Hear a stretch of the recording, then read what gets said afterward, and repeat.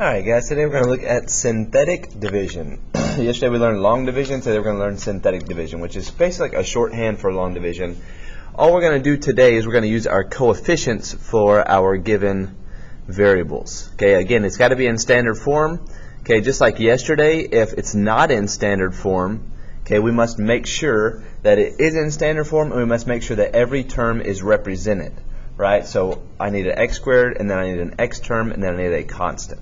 All right, so synthetic division, shorthand method for dividing polynomials by a linear binomial using only the coefficients. Now, we need the divisor in the form x minus a or x plus a, right? It's got to be a linear divisor, meaning it's got to be an x to the first power, it's got to be a constant here. So I'm saying, can the following be used for synthetic division as they're written? Okay, this is a yes. This has an exponent that is not linear, so this is no. Same thing here, it's a quadratic, that's no, and this is yes, right? So these two are linear divisors, so they can be used. Now, it's in the form x minus a. That's going to be very, very important, x minus a. Because if we look at the following for number 1, my divisor is x plus 3. All right, so for synthetic division, what we're going to do is we're going to take our constants, and this is in standard form, so we're Gucci. We have all of my descending order exponents represented. So I'm going to take my constant and I'm going to write them here. 1, 5, and 6. Okay, and I'm going to make a little upside down house.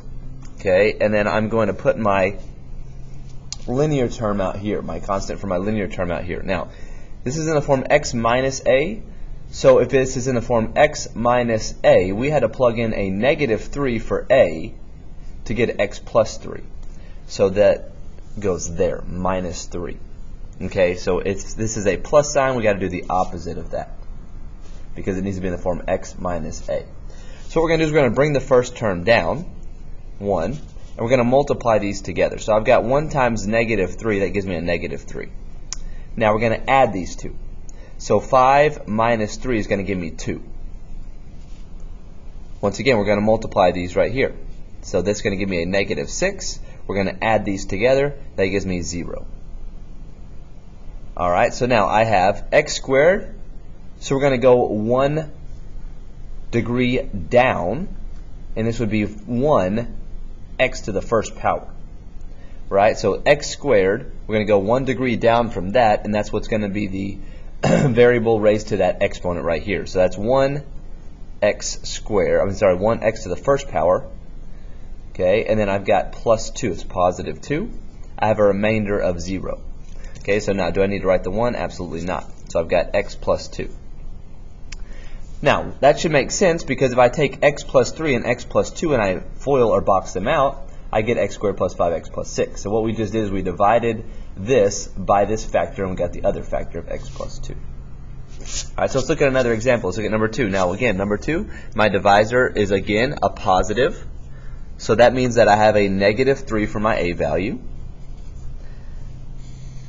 Make sure that all of my variables are written in descending order and they're all represented. So x to the third, x to the second, x to the first, and a constant. So we're good. So 2, 3, negative 4, and 8.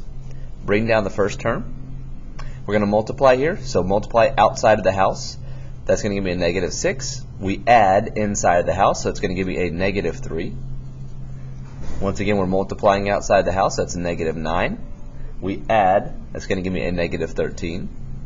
Multiply outside the house, that's going to give me a positive 30, sorry, 29. Holy smokes. 39. 39, sorry.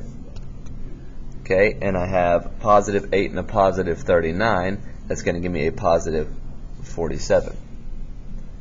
Alright, so now once again, this is x to the third power, meaning that this is one exponent less. So this is 2x squared minus 3x minus 13.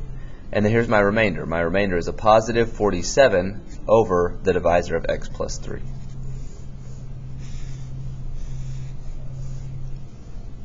Alright, let's flip our page.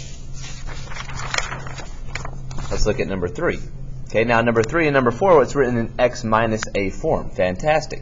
So now our a value is just a positive 2. All right, let's make sure we have our standard form and where all our exponents are represented. So x to the fourth.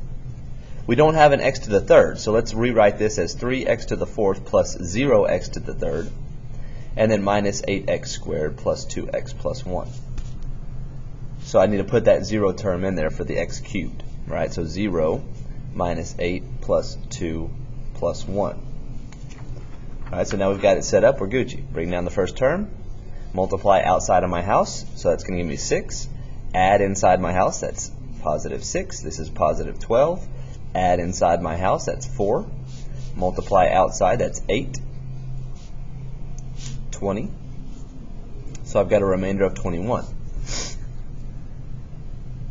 All right, so now again, this is the one exponent or one degree less than this, right? So x to the fourth, this is going to start out x to the third. So 3x cubed, positive 6x squared, plus 4x plus 10, with the remainder of 21 over x minus 2.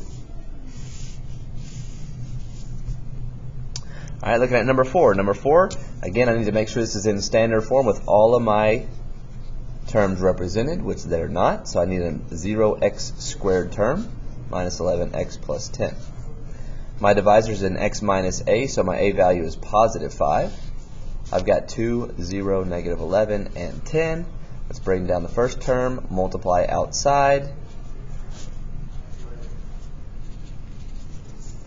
Oh man, 59 times 5, 39 times 5. Sorry. I was not prepared for that. 39 times 5, 195. So 205. All right, so again, this is then the one degree less than this. So we're going to start out 2x squared plus 10x plus 39 with a remainder of 205 over x minus 5.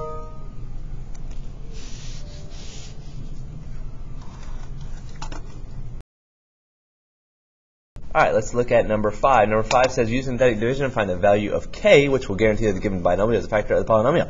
All right, so let's set up our synthetic division. We have a coefficient of 1, 8, k, and 21. This is a plus 7, right? So my a value is a negative 7. Bring down the first term, 1. That gives me a negative 7. Multiply outside the house. We're adding inside the house. It's going to give me a positive 1. That's going to give me a negative 7. All right, so now I know I need this term, negative 7 plus k, multiplied by negative 7 to get a negative 21 right here, because I want to add these together and get a remainder of 0. Okay, so what number do I need to multiply by negative 7 to get negative 21? Well, it's got to be negative 3, right? All right, so I need this negative 7 plus k to give me negative 3 here, because if I take negative 3 multiplied by negative 7, it's going to give me negative 21. These terms will cancel out, remainder of 0. Okay, so what do I need to add to positive, oh, sorry, what do I need to add to negative 7 to get negative 3 right here? Well, the k value's got to be 4. Because if I take 4 and I subtract 7, or add those, combine those together, I get negative 3. Now I multiply outside the house, that's going to give me a sorry, negative. Yeah. Okay, it's going to give me a positive 21. Coach Sapp, what? Sorry, not 4. I need it to be a positive 3. Okay, because I've got to take negative 7 times 3 and get a negative 21 right here to get a remainder of 0. So k has got to be 10 because 10 minus 7 is going to be a positive 3. All right, now we're Gucci. Negative 7 times 3 is a negative 21, which is a remainder of 0. All right, so my k value is equal to 10. Let's look at number 6. Number 6, I have this as the volume. The height of the rectangular prism is x plus 2. Write an expression that represents the area of the top face of the prism. So area, length times width, times the height is the volume, right? So I'm going to take this x cubed plus 2x squared minus 9x minus 18. I'm dividing by a negative 2. Bring down the first term, 1, negative 2, 0, 0, negative 9, positive 18, perfect, remainder of 0, rock on.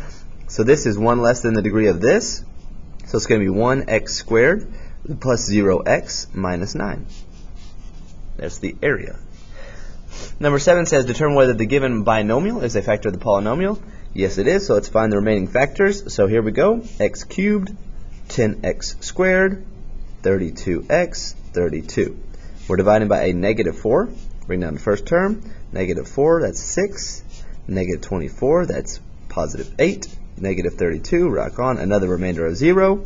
So this is starts at x cubed. This starts at x squared. So x squared plus 6x plus 8. Yay!